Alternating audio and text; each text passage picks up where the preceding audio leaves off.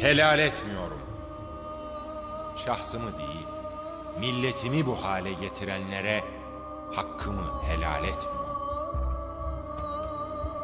Beni benim için lif lif yolsalar, cımbız cımbız zerrelerimi koparsalar, sarayımı yaksalar, hanumanımı, hanedanımı söndürseler, çoluğumu gözümün önünde parçalasalar, helal ederdim de. Sevgilinin yolunda yürüdüğüm için beni bu hale getiren ve milletimi ateşe atan insanlara hakkımı helal etmem. Allah'ım, mukaddes isimlerine kurban olduğum Allah'ım. Ya adil, bana Kızıl Sultan adını takan ve devrilmem için ellerinden geleni yapan Ermenileri, şimdi beni devirenlere parçalatıyorsun. Bu cellatları da kim bilir kimlere parçalatacaksın. Fakat ya Rahman, adaletinle tecelli edersen hepimiz kül olur.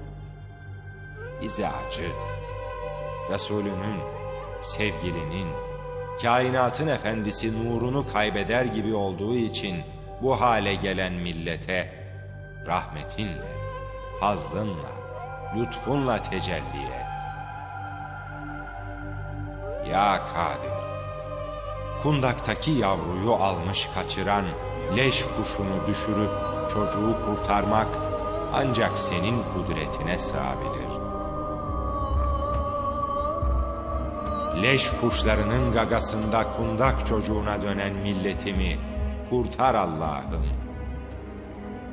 Ya Mabud, ömrümde tek vakit farz namazı kaçırdığımı hatırlamıyorum.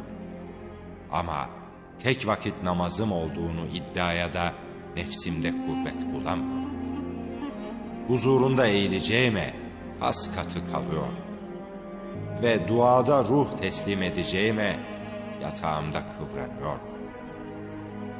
Sana kulluk gösteremeyen bu kulunu affet Allah'ım.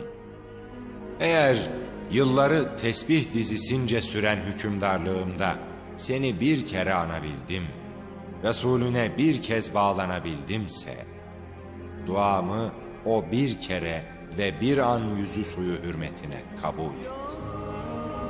Ya Sübhan, şu titrek elleri kıyamet gününde sana ümmetim, ümmetim diye yalvaracak olan Habibinin eteğinde şimdi milletim, milletim diye dilenen bu ihtiyarın duasını geri çevirme.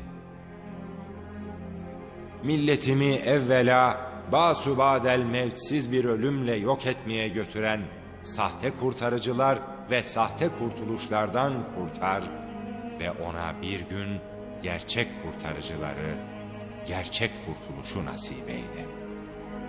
Benim artık bu dünya gözüyle görebileceğim hiçbir saadet ümidim kalmadı.